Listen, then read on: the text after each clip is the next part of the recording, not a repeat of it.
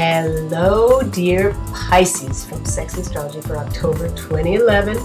I want to just remind you, baby, that if you are walking around grumbling to yourself and complaining to yourself, um, you need to take time out and meditate and connect to something or to someone and don't isolate. This is an important month for you to just be like connecting to people because you know, Pisces in a bad mood is a terrible sight, and they can be the most evil of all the signs by far, tapping Scorpio in spades, you know.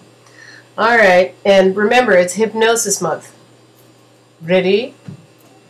You are getting sleepy. Have a good month. Yeah, so HYP, I'm hypnotized. It's hypnosis month. Yeah, you're getting sleepy. You see this great silver charm? You are getting sleepy.